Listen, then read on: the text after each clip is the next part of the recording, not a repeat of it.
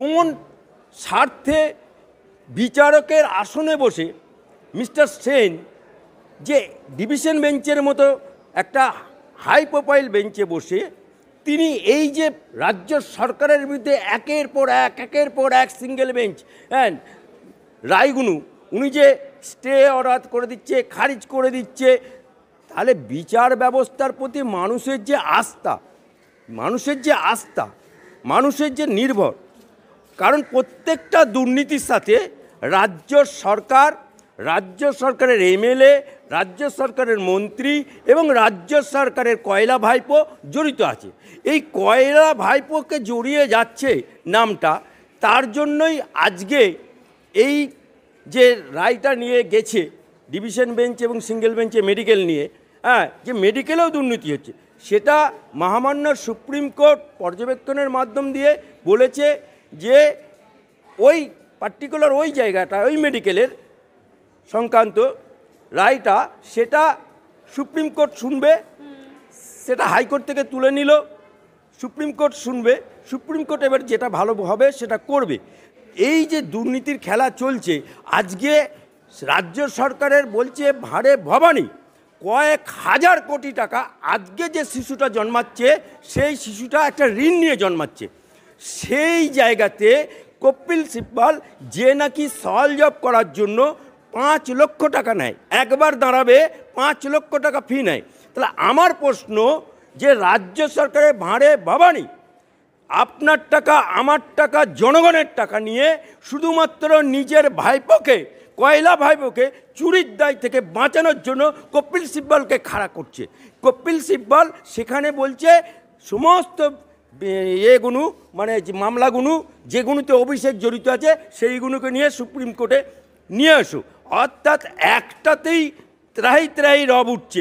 সেই জন্যে বাঁচার জন্য অভিজিৎ গঙ্গোপাধ্যায় বাপের বেটার মতো রায় দিচ্ছে বলে শির দ্বারা সোজা করে রায় দিচ্ছে বলে ওরা ভয়ে বাঁচাও সাধু বাবা হয়ে আজকে সুপ্রিম কোর্টের দ্বারস্থ হচ্ছে। লজ্জা করে না, বেহার, নির্লজ্জ।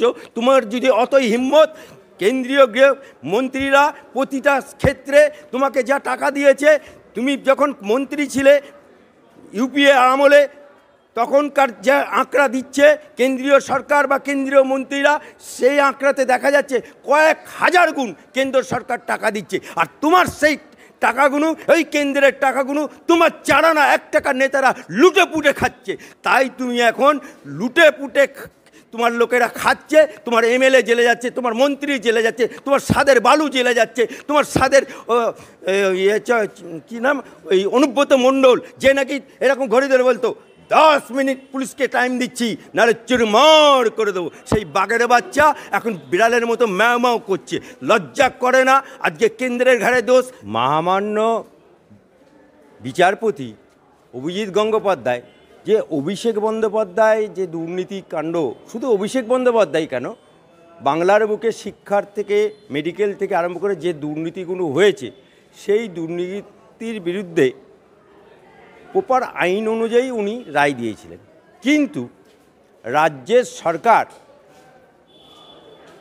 এখানকার সরকার ডিভিশন বেঞ্চে মিস্টার সেনের ঘরে গেছিলেন এবং মিস্টার সেন কতগুলো বিচার ব্যবস্থাতে কতগুলো মামলাতে উনি স্থগিতাদেশ দিয়েছেন এবং বাতিল করেছেন, তার আমি একটা লিস্ট আপনাদেরকে বলছি।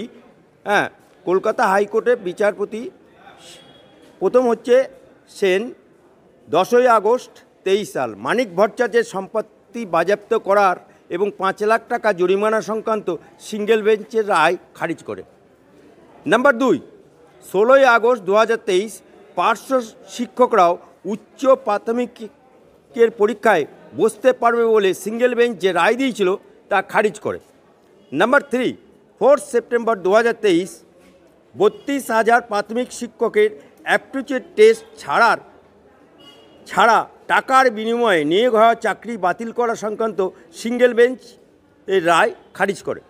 নাম্বার ফোর, সিক্স অক্টোবর দু হাজার তেইশ, কলেজ সার্ভিস কমিশনের দুর্নীতি কমিশ দুর্নীতি কমিশনারকে তলব এবং গ্রেপ্তার করা সংক্রান্ত সিঙ্গেল বেঞ্চের রায় খারিজ করে।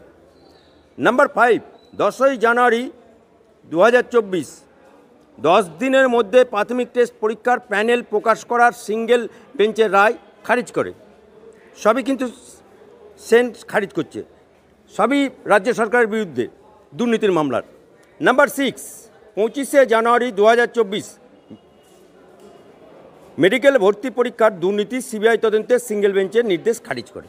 তাহলে রাজ্য সরকারের বিরুদ্ধে যেখানে দুর্নীতি হয়েছে, যেখানে মেধা চুরি হয়েছে, যেখানে যাদের মেধা চুরি হয়েছে তারা রাস্তায় বসে আছে এবং তাদের টাকা যে, বিনিময়ে যে চাকরি চুরি হয়েছে তার প্রমাণ শিক্ষামন্ত্রী জেল কাটছে এবং শিক্ষামন্ত্রীর ঘনিষ্ঠ অপার বাড়িতে এত টাকা পাওয়া গেছে যে টাকা গোনার জন্য মেশিন আনতে হয়েছে।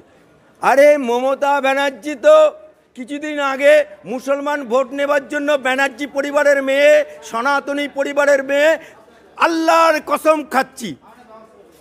আবার উনি কিছুদিন আগে আবার বলে আমি পুজো করি, আমি সাত্বিক ব্রাহ্মণ, আমি যা দেবী স্বর্গভূতস্যই নমস্তস্যই নমস্তস্যই বলে উনি করেন।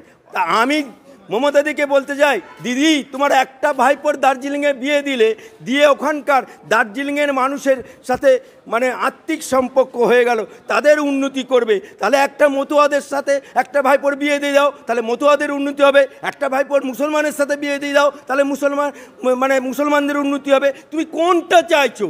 তুমি বিইংয়ে চিফ মিনিস্টার হিসাবে জনগণের উন্নতি চাইছো, নাকি ভাইপোর যেখানে বিয়ে হবে তাদের উন্নতি চাইছো।